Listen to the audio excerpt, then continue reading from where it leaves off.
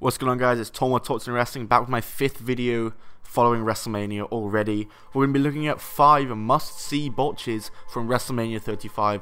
We got some good ones, we got some crazy ones, and yeah, that's really just all I have to say to preface this. Coming in at number 5, we have Hulk Hogan doing what Hulk Hogan does best and messing up stadium names. We all remember the moment at WrestleMania 30 when he was out there with Rock and Steve Austin, and he called the Superdome the Silverdome, then corrected himself to a good pop from the crowd. Very funny moment, but surely you'd think he'd learn from his mistakes. Him and Alexa Bliss, uh, Alexa Bliss introduced him as she's the host. He came out and he referred to the MetLife Stadium as the MetLife Center. I know it's not like a major botch and it's a small mistake, like he messed up one word, but it's just the fact that he's done it before, and this is his first time on WrestleMania since WrestleMania 31, his first time on the mic at WrestleMania since that mess up at WrestleMania 30, and he's messing up the stadium name again. Other than that, the moment itself was cool, and Alexa Bliss and Hogan doing the poses together was pretty cute. Number 4, Batista takes a trip. Twitter went absolutely wild for this one. I love Batista. Batista is such he's hilarious. He's amazing. I love him and he's the only person I could really forgive for tripping into the ring.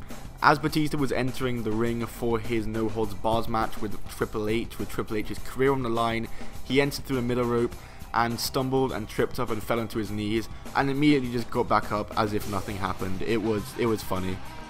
Number 3, the world's biggest dance break. Oh god, was this cringe. This was definitely not what WWE intended to do. R-Truth and Carmella, I love them, they're amazing. They came out and they tried to get the world's biggest dance break and to get everyone to stand up and dance.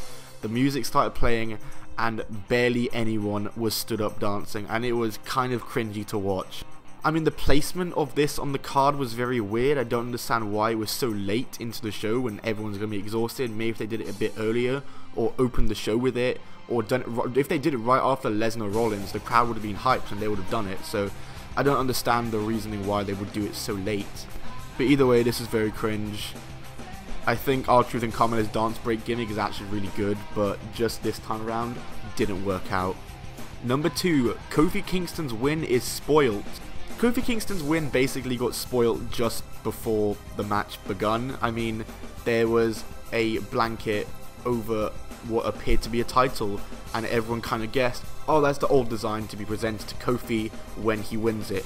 And not only that, but a shirt was put on WWEshop.com before the match even finished, showing Kofi as the new champion.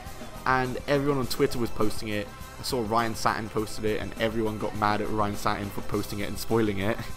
But yeah, lucky for me, I didn't see it, and I got to experience my reaction organically and get a genuine reaction from Kofi winning in one of the most awesome WrestleMania moments of all time. Big ups Kofi, big ups Bryan, big ups New Day, big ups everyone involved in that match. And number one, we have the finish to the women's match. Now, it's unknown if this was actually a botch or not. Like, you know, it, you couldn't, her shoulders weren't really down, but Apparently, I was seeing online that Becky was meant to tap out Charlotte. The finish itself was very, very abrupt, and Becky and Rousey looked both genuinely shocked about it. And Rousey even did kick out once the three count was hit.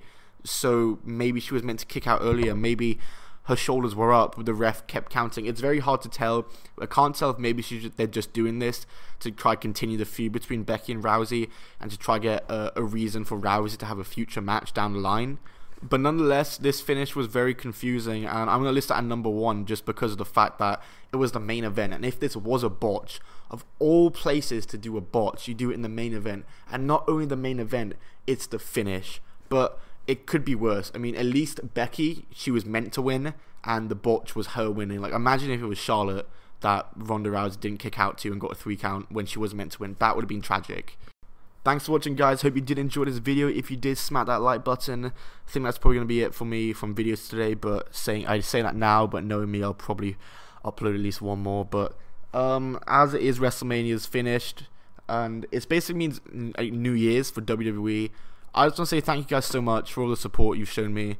Um, my channel is dead, like there's no denying that. My channel is so dead, I can don't put in as much views as I as much views as I used to, but I can't help but love what I do. I feel blessed to be in the position that I'm in, and I have such an amazing fan base. So I just want to thank you guys all so much for sticking with me, watching the content, supporting me. Uh, I'm always going to be on YouTube. You know, this isn't going to be a full time job with the views I get. Like, it's impossible to make it a full time job, but I'll always stick on YouTube and upload videos, and I, I love what I do. So, thank you guys so much for that. I'll see you guys soon. Um, thank you guys.